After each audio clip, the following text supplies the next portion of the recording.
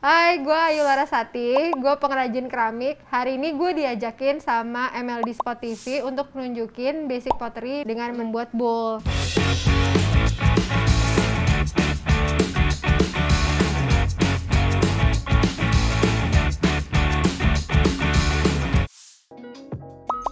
Nah, di sini alat yang udah kita siapin, tanah liat, mesin puter, sama satu ember kecil diisi air, lalu beberapa hand tools, ada sponge, terus ada tools dari kayu, tools dari karet, lalu kawat untuk memotong nanti, dan needle tools.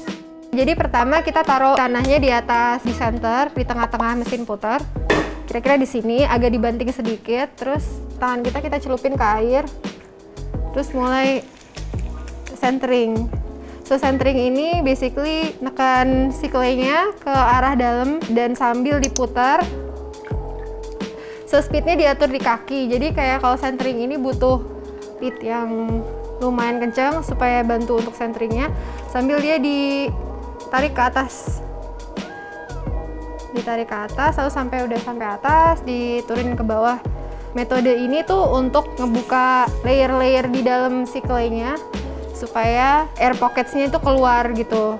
Air pocketsnya keluar dan juga partikel di dalam claynya tuh terjejer rapi gitu jadi lebih align kita akan membuat lubang di sini di tengah-tengah uh, dengan menekan jempol ke bawah.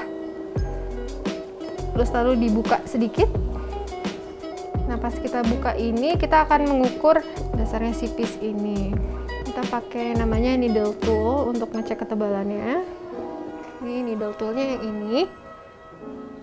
Di poke aja ditusuk. Lalu kemudian uh, jempol sama telunjuk kita uh, megang dasarnya lalu ditarik. Jadi kayak itu ketebalan si bawahnya. So sekitar satu senti kalau misalnya dapat satu senti itu oke okay, berarti kita bisa lanjut. Tapi kalau ketipisan dan we have to do something about it. Atau ketebalan kita harus tekan lagi ke bawah.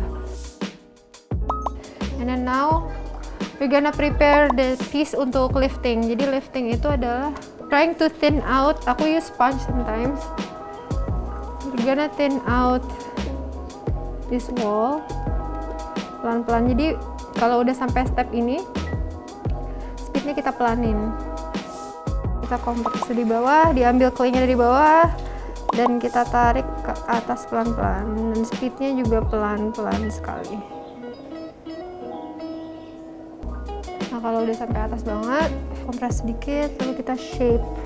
Jadi kalau yang ini bagian ini lebih dari dalam yang ngasih pressure ke dinding yang luar. Karena at this point si claynya udah sama rata dan kita mau lebih ke shaping. So so like a dance between the two hands gitu. Jadi kayak yang mana yang lebih ngasih pressure mana yang let go supaya shape yang kita inginkan terbentuk gitu lalu yang terakhir kita cut the base.